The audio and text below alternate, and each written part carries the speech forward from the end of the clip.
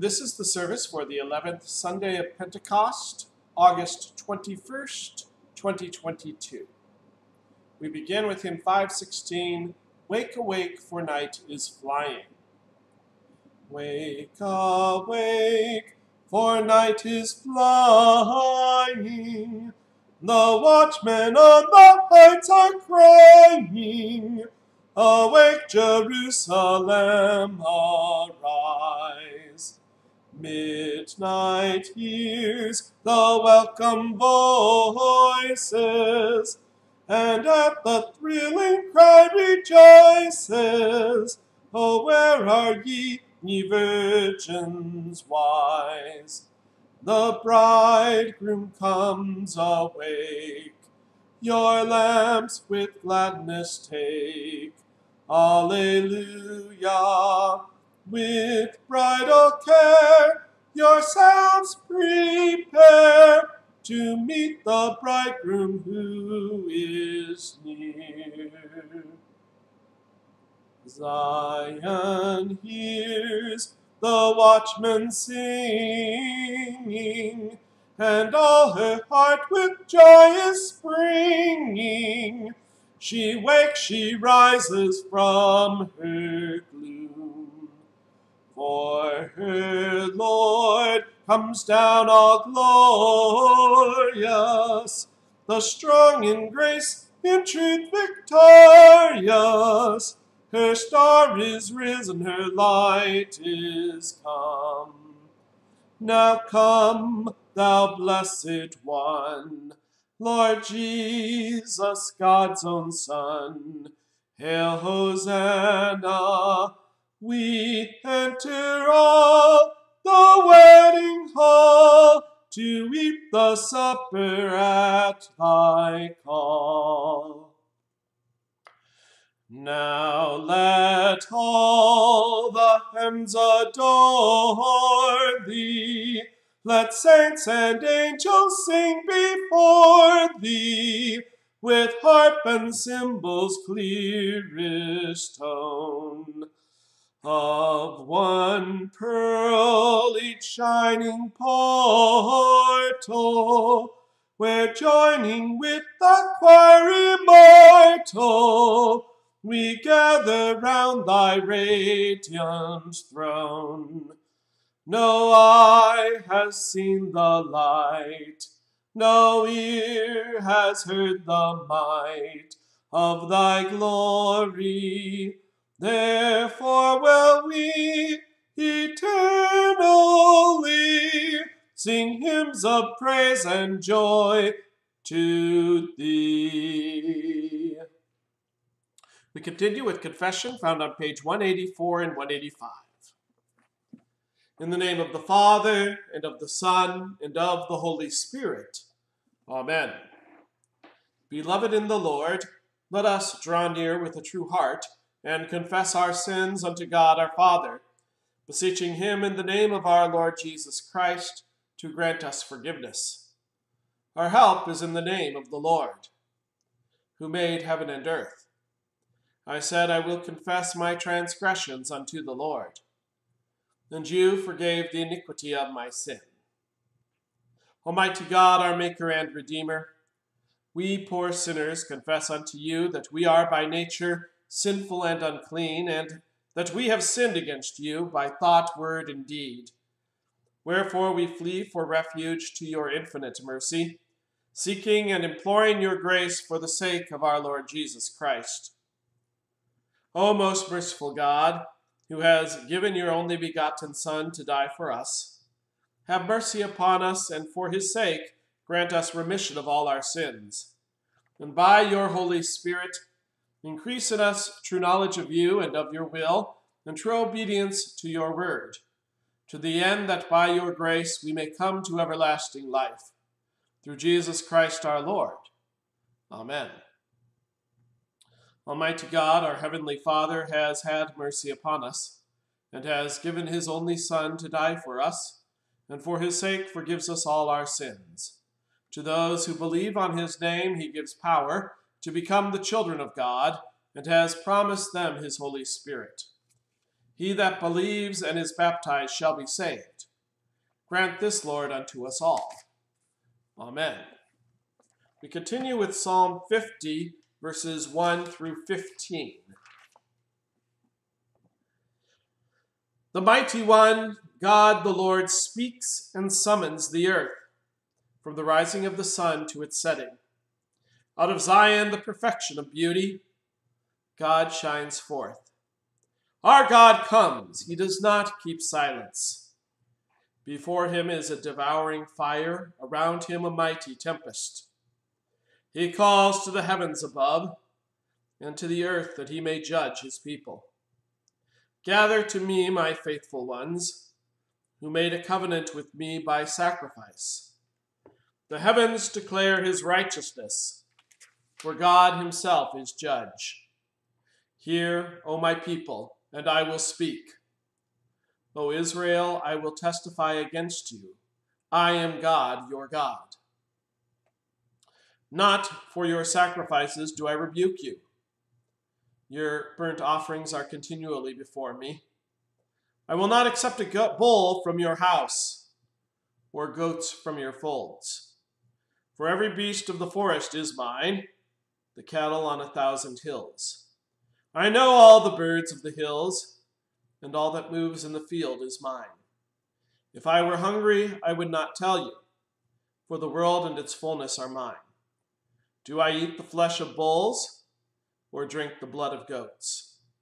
Offer to God a sacrifice of thanksgiving, and perform your vows to the Most High, and call upon me in the day of trouble. I will deliver you and shall glory, glorify you. Glory be to the Father, and to the Son, and to the Holy Spirit, as it was in the beginning, is now, and will be forever. Amen. We return to page 186. We're going to continue with the Kyrie. Lord, have mercy upon us. Christ, have mercy upon us. Lord, have mercy upon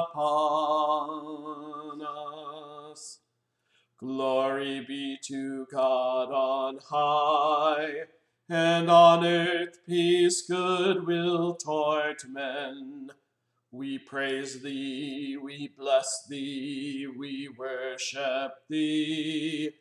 We glorify thee, we give thanks to thee for thy great glory. O Lord God, heavenly King, God the Father Almighty, O Lord, the only begotten Son, Jesus Christ, O Lord God, Lamb of God, Son of the Father, that takest away the sin of the world, have mercy upon us. Thou that takest away the sin of the world, receive our prayer.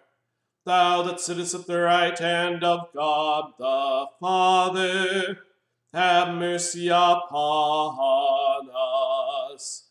For thou only art holy, thou only art the Lord, thou only, O Christ, with the Holy Ghost, art most high in the glory of God the Father.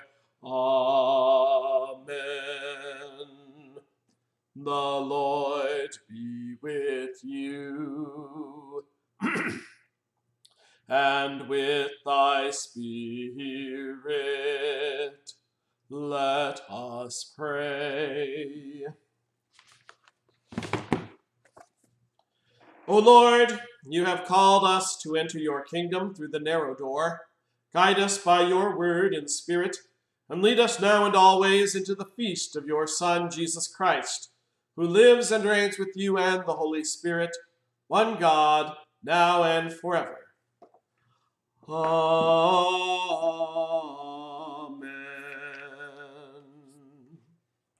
The Old Testament reading for this, the 11th Sunday after Pentecost, comes from Isaiah chapter 66, the very last chapter of Isaiah, and it includes all but the last verse of the second half of that chapter. For I know their works and their thoughts, and the time is coming to gather all nations and tongues. And they shall come and shall see my glory, and I shall set a sign among them and from them I will send survivors to the nations, to Tarshish, Pul, and Lud, who draw the bow, to Tubal and Javan, to the coastlands afar off, that have not heard my fame or seen my glory.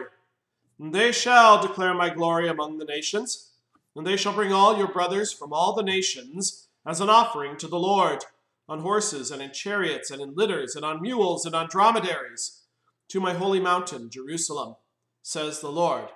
Just as the offering Israelites bring their grain offering in a clean vessel to the house of the Lord. And some of them also I will take for priests and for Levites, says the Lord. For as the new heavens and the new earth that I make shall remain before me, says the Lord, so shall your offspring and your name remain, from new moon to new moon, and from Sabbath to Sabbath. All flesh shall come to worship before me, declares the Lord. This is the word of the Lord. Thanks be to God. The epistle is from Hebrews chapter 12. In your struggle against sin, you have not yet resisted to the point of shedding your blood. And have you forgotten the exhortation that addresses you as sons? My son, do not regard lightly the discipline of the Lord, nor be wary when he reproved when reproved by him. For the Lord disciplines the one he loves, and chastises every son whom he receives. It is for discipline that you have to endure. God is treating you as sons. For what son is there whom his father does not discipline? If you are left without discipline, in which all have participated, then you are illegitimate children and not sons. Besides this, we have had earthly fathers who disciplined us and we respected them. Shall we not much more be subject to the Father of spirits and live? For they disciplined us for a short time, as it seemed best to them. But he disciplines us for our good, that we may share his holiness. For the moment, all discipline seems painful rather than pleasant, but later it yields the peaceful fruit of righteousness to those who have been trained by it. Therefore, Lift your drooping hands and strengthen your weak knees, and make straight paths for your feet, so that what is lame may not be put out of joint, but rather be healed.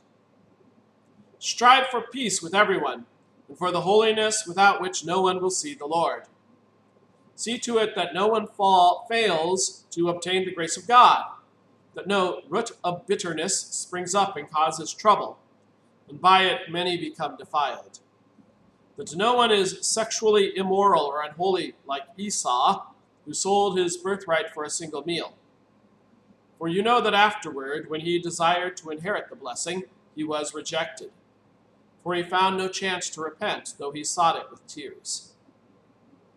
For you have not come to what may be touched a blazing fire and darkness and gloom and a tempest and the sound of a trumpet and a voice whose words made the hearers beg that no further messages be spoken to them. For they could not endure the order that was given. If even a beast touches the mountain, it shall be stoned. Indeed, so terrifying was the sight that Moses said, I tremble with fear. But you have come to Mount Zion, and to the city of the living God, the heavenly Jerusalem, and to innumerable angels in festal gathering and to the assembly of the firstborn who are enrolled in heaven, and to God, the judge of all, and to the spirits of the righteous made perfect, and to Jesus, the mediator of a new covenant, and to the sprinkled blood that speaks a better word than the blood of Abel. This is the word of the Lord. Thanks be to God. We sing the Alleluia. Alleluia. Alleluia. Alleluia. The Holy Gospel according to St. Luke, the 13th chapter.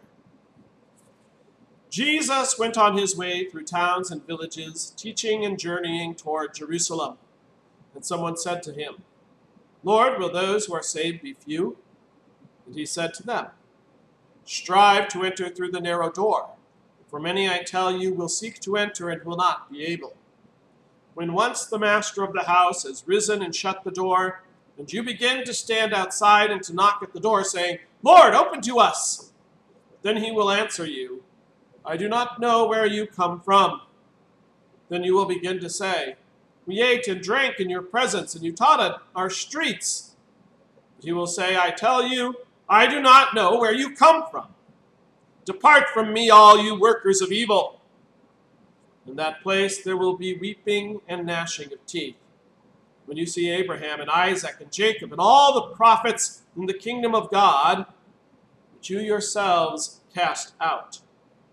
And the people will come from east and west, and from north and south, and recline at table in the kingdom of God. And behold, some are last who will be first, and some are first who will be last. This is the gospel of our Lord. Praise be to thee, O Christ. We recite the Nicene Creed. I believe in God the Father Almighty, maker of heaven and earth, and in Jesus Christ, his only Son, our Lord, who was conceived by the Holy Spirit, born of the Virgin Mary, suffered under Pontius Pilate, was crucified, died, and was buried. He descended into hell. The third day he rose again from the dead. He ascended into heaven and sits at the right hand of God the Father Almighty. From thence he will come to judge the living and the dead. I believe in the Holy Spirit, the holy Christian Church, the communion of saints, the forgiveness of sins, the resurrection of the body, and the life everlasting. Amen. Our hymn of the day is hymn 510 a multitude comes from the ends of the earth. So let us sing hymn 510. A multitude comes from the east and the west to sit at the feast of salvation with Abraham, Isaac, and Jacob the blessed, obeying the Lord's invitation. Have mercy upon us, O Jesus. O God, let us hear when our shepherd shall call in accents persuasive and tender, that while there is time we make haste one and all, and find him our mighty defender. Have mercy upon us, O Jesus. All trials shall be like a dream that is past, forgotten all trouble and mourning. All questions and doubts have been answered at last, when rises the light of the morning. Have mercy upon us, O Jesus. The heavens shall ring with an anthem more grand than ever on earth was recorded. The blessed of the Lord shall receive at his hand the crown to the victors awarded. Have mercy upon us, O Jesus. Grace, mercy, and peace be unto you from our Lord and Savior, Jesus Christ. Today we're looking at the end of Isaiah, Isaiah chapter 66, and all except the last verse at the very end. At the end of Isaiah, God has Isaiah make a kind of summary of what he preached about throughout Isaiah. You see, Isaiah is called sometimes the fifth gospel. It tells the simple message of salvation that we were sinners lost from our Lord. That we strove to save ourselves by our own works, but they were a stench in the Lord's nostrils. But even when we took his revelation, we transformed it, not changing our hearts so that we sought what was good and loving our neighbor, so that we sought what was good and subjecting ourselves under the rulership of God, but trying to perform the actions, the cultic um, ceremonies, the rituals that would earn for us the profit we wanted salvation. But God, He would not accept that. He would not accept evil into His kingdom. And these external actions did not change the internal truth of our sin, of the death that was with us. And so God sent His Son, Jesus Christ. And Jesus Christ not only did the external things, but he was internally perfect. His heart trusted in the Lord. He followed God's design. He did God's plan. And because his heart was perfect internally, because he was perfect, he was able to do the external things, the healing, the feeding of the sick, the raising of the dead, the things that were part of God's plan.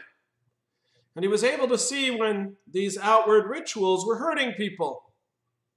So that, yes, his disciples ate on the Sabbath, picking from fields. And yes, he healed on the Sabbath. And yes, he chose to do things that the Pharisees said were not what would earn your way to salvation because Christ wasn't trying to earn his way to salvation. He was making and earning our way to salvation, but he wasn't worried about salvation. That was in God's hands. That, according to God's plan and God's design, was something that would happen to Christ because Christ was his child and perfect. Now we know what happened. Christ went to the cross, and there, as God and man, he died in our place. As God, he took the sins of the entire world, not just one person. As man, he was able to stand in our stead, the Son of Man dead upon the cross. And then, because God is just and God is righteous, Christ was raised, Christ raised himself. We use both ways of saying it. The Bible uses both ways of saying it from the dead and he received the reward that he had earned. The reward not only for him, but for us. This is the simple summation of the gospel and the law. Well, here in the last chapter of Isaiah, it begins, the part we haven't read, with the law. It says that the nation of Israel makes sacrifices, and it sacrifices bulls and goats, and it does these things that God had set up as, as rules for that nation. And God does not receive them, He doesn't accept them. That because their hearts are not pure, they cannot come into the presence of God to offer a pure sacrifice. They can't do what Jesus did. Jesus was always in the presence of God because he was pure. And the Pharisees and the Sadducees, who did not learn about their Messiah, who did not trust in God and in Jesus, but trusted in their own actions, their actions didn't matter. In fact, their actions were negative. All they were doing was destroying good meat, destroying good possessions, and putting other people down, making them think that they weren't good enough for God, which is true in one sense, but is not true in the ultimate sense, in the sense that Christ makes us good enough for God. So it starts that way. And then it talks about how in pregnancy, when you're going through it, you, you don't have the baby before the labor pain. You have the labor pains, and then you have the blessing. You have the problems, and then you have the reward. And God's saying, Look, people who believe in me, right now you're going through problems. It isn't very pleasant right now. And Isaiah was speaking to a nation that at this time had been brought into exile. Right, labor pains. It's not pleasant right now. Things are not happy. But that occurs before the happiness comes. See, the labor pains point to what's coming next. When my wife's water broke, we went to the hospital because we knew we were about to have delivered a beautiful son. The second time we didn't know it was going to be a son, but it was a son. The labor pains, the turmoil, the stresses, the trials, the tribulations that we're presently going through point to the reality to come. And yes, you look at the Pharisees and the Sadducees, and they seem to have a more pleasant life right now. But they weren't going through labor pains. They weren't going to be delivered. They weren't going to receive the blessing. Christians in the church are told, yes, there's going to be suffering, there's going to be crosses, there's going to be pain, there's going to be sorrow. And when you see it, think of birth. Think the world is going through these things as it prepares for the second coming of Jesus. Think of the Old Testament and everything that happened until Jesus came. Think of the life of Jesus and everything that happened until he rose, the pains and the sorrows. Then we come to our verses, which starts, and it kind of fools you the way the text is read uh, on the back uh, of our cover of our bulletin, the way I read it. It says, I know who you are. It's not speaking there to those who know Jesus. Speak to those who don't know Jesus. I know who you are. And the verse that follows our text says, And you will be outside and you'll be weeping and gnashing teeth and it'll be burning and, and it'll just be horrid, right? Hell. So I know who you are, people who have rejected me, who seek their own salvation by their own merits, their own works, by their own righteousnesses. You're rejected because you've rejected Jesus. But then we get to our verses, and it speaks to us, to the church. And it says, Look, I'm not just bringing in the Jews, I'm not just bringing in the physical lineage of Abraham, I'm not just bringing in Judah, the remaining remnant of Israel. I'm going to bring in people from all nations, all those who are now pure of heart by the blood of Jesus. I'm going to bring them together from all corners of the world. And I'm going to make of them my people, even my priests, the most holy, the Levites, the most holy of, of uh, uh, those chosen out by God, chosen specifically for his service. Yeah, they're going to be chosen specifically for my service. I'm going to bring them in and choose them out because Christ has made them pure. And like him, they're going to live in my way not because they're better than you, but because now they have been changed. People who, like Jesus, have the Holy Spirit living in us so that our lives are different, so that we love our Lord and we love our neighbors. So that, yes, we look to Revelation to see what is good and right because we know that sin is still trying to, to corrupt everything we do. We know that we're still trying to judge on our own what is right and wrong. But now we have the Holy Spirit living in us, guiding our actions, guiding our understanding of revelation. And what we do in the sight of God is good. When the old Adam rises up and we fall back, God doesn't see that anymore. But He brings us back in repentance. He turns us about by the blood of Christ, he makes us once again his children, again and again and again. And I don't want to do this in a time sense because, from God's perspective, time is different from ours. That's why we talk about us being simultaneously sinner and saint, having this struggle going on continuously. I don't want to talk about it in a time sense because then you start worrying well, am I saved when I die? What if I was sinning when I died? No, you are God's child right now. You will be God's child in eternity. That's the point of his bringing us out of the nations. The point that it's Jesus who does it, it's not us. And so he says, Isaiah says, look at the turmoil, but know that God has made a promise. His promise is people from everywhere are going to be brought together to live as his family, in his glory, in his place. That they will be his children like Jesus is his son. We will be his sons and daughters, and we are his sons and daughters. And that God is going to do it at the proper time just as my sons came at the proper time. And I was there and I was amazed at this gift of God.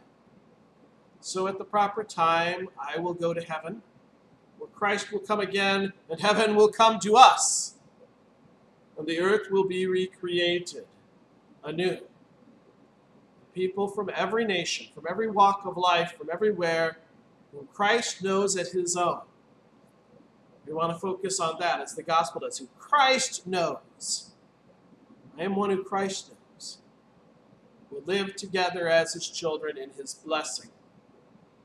No more sorrow, no more tears, no more pain or suffering. Now the text ends with those who don't know Jesus. Not the part we read, but the next sentence. Those who sought by their own power to reach God. And it says God knows them. He knows their evil, and He knows the punishment that they have chosen for themselves. We live in His grace and are assured of His peace. Let's bring this simple gospel message as Isaiah brought it to us, as the Bible reveals it to us, to others so that they too might be known by God, made his children, made a part of those who gather together with us at the feast of the Lamb. In Jesus' name, amen. We're going to continue with our hymn of thanks, which is hymn 791 All People That on Earth Do Dwell. all people that on earth do dwell, sing to the Lord with cheerful voice. Him serve with mirth his praise forth tell. Come ye before him and rejoice. Know that the Lord is God indeed Without our aid he did us make. We are his folk, he doth us feed.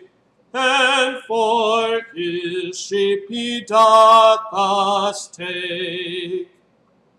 Oh, enter then his gates with praise. Approach with joy his courts unto. Praise, Lord, and bless his name always. For it is seemly so to do. For why the Lord our God is good, his mercy is forevermore sure his truth at all times firmly stood, and shall from age to age endure.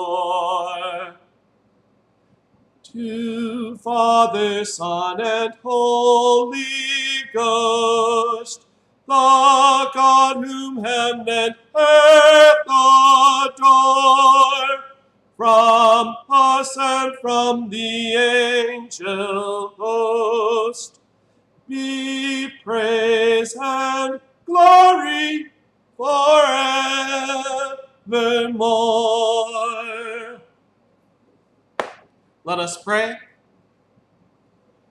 Dearest Heavenly Father, your plan of salvation is beyond our imagining. How could you take what you loved most and sacrifice that for us. And yet, that is what happened with Jesus. He who never knew sin became sin and died in our place, so that we who are but sinners became saints and live in his place with him forever. Lord God, Heavenly Father, gather us from the ends of the earth. Bring about the time of birth, so that all sorrow, all pain, all these things which are evil in your sight may end. But in the time of tribulation and trouble, as we anticipate that coming again of Christ, let us be those who share your message of salvation, who bring to the eyes of those who do not know Jesus illumination, that their eyes might be opened, and they might see the truth that they're sinners and that they have a Savior, that Savior loves them and gathers them to be his own. Lord, gather in a great and mighty host, so that we might dwell in glory with them forever. Watch over your church, watch over this nation, watch over our police, our soldiers, watch over those who care for body, mind, and soul. Be in particular, Lord, with our families. Let us, Lord, follow in your design. Raise our children to know law and gospel and Lord, to recognize that they are those who dwell in gospel at all times and will unto eternity. We pray for all those who are sick and in need, Lord. Give them strength and healing as is your will. And Lord, hold them in your hands so that they too might dwell with us forever. This we pray in the name of our Savior Jesus Christ and join in the prayer that he taught us. Our Father, who art in heaven, hallowed be thy name. Thy kingdom come, thy will be done, on earth as it is in heaven. Give us this day our daily bread, and forgive us our trespasses, as we forgive those who trespass against us. And lead us not into temptation, but deliver us from evil. For thine is the kingdom, and the power, and the glory, forever and ever. Amen. The Lord bless you and keep you. The Lord make his face to shine upon you and be glor- gracious unto you. The Lord look upon you with his favor and give you peace. Amen. Amen. Amen.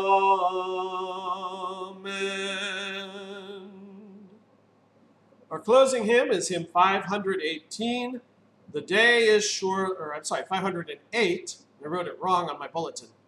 Hymn 508. The day is surely drawing near. The day is surely drawing near when Jesus, God's anointed, in all his power shall appear as judge whom God appointed then fright shall banish idle mirth, and flames on flames shall ravish earth, as Scripture long has warned us. The final trumpet then shall sound, and all the earth be shaken, and all who rest beneath the ground shall from their sleep awaken but all who live in that hour, by God's almighty boundless power, be changed at his commanding. The books are opened then to all, a record truly telling what each has done, both great and small, when he on earth was dwelling and every heart be clearly seen, and all be known as they have been in thoughts and words and actions. Then woe to those who scorn the Lord and sought but carnal pleasures, who here despised his precious word and loved their earthly treasures with shame and trembling they will stand, and at the judge's stern command to Satan be delivered. My Savior paid the debt I owe, and for my sin was smitten. Within the book of life I know my name has now been written. I will not doubt, for I am free, and Satan cannot threaten me. There is no condemnation. May Christ our intercessor be, and through his blood and merit, Read from his book that we are free, with all who life inherit. Then we shall see him face to face, with all his saints in that blessed place, which he has purchased for us. O Jesus Christ, do not delay, but hasten our salvation. We often tremble on our way in fear and tribulation. O hear and grant our fervent plea. Come, mighty Judge, and set us free from death and every evil. Grace, mercy, and peace be unto you. Christ is coming. He does hold us in his grace, and we shall rest all nations gathered together in his peace. Amen.